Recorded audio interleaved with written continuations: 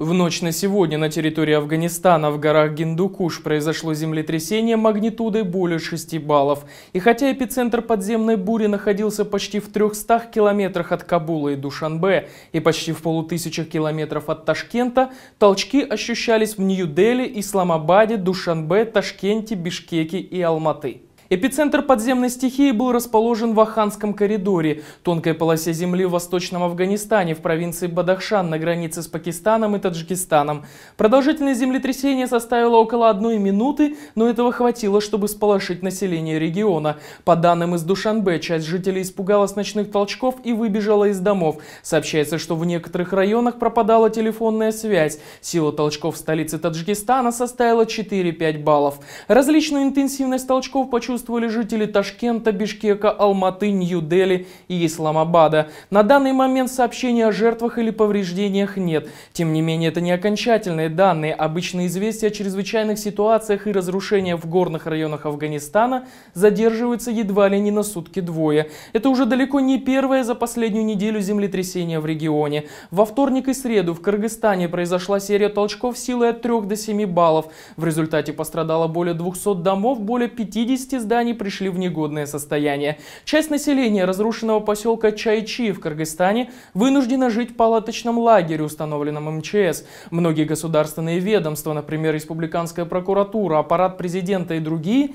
перечислили однодневный заработок в пользу пострадавших от стихии. Всего же за одну неделю только на территории Кыргызстана произошло 7 землетрясений, еще несколько зафиксировано в Ферганской долине, а сегодня еще и афганские толчки. Можно ли назвать данную серию толчков разрядкой, благодаря которой регион избежал катастрофического землетрясения? Или это наоборот, только подготовка к апокалиптическому сценарию? Нужно ли жителям Центральной Азии спать одетыми на случай подземного удара, рассказал профессор, заместитель директора по науке Института физики и земли Российской Академии Наук Евгений Рогожин. Вот э, то землетрясение, которое произошло вчера э, на границе Афганистана и Таджикистана с магнитудой 6,1, глубиной очага 100 километров, это, на мой взгляд, продолжение сейсмического процесса, который возник э, у нас в этом регионе, соответственно, где-то в конце октября 2015 года, когда в этой же зоне возникло землетрясение с магнитудой 7 и глубиной очага 215 километров. После этого имелось еще большое количество умеренных и слабых толчков.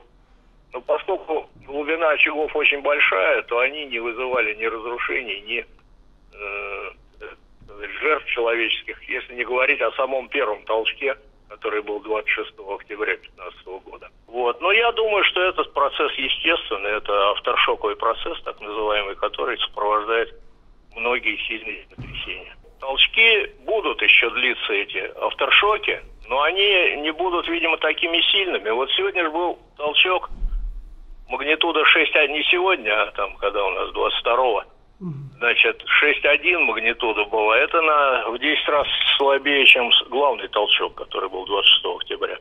Вот, поэтому это э, процесс разрядки очага.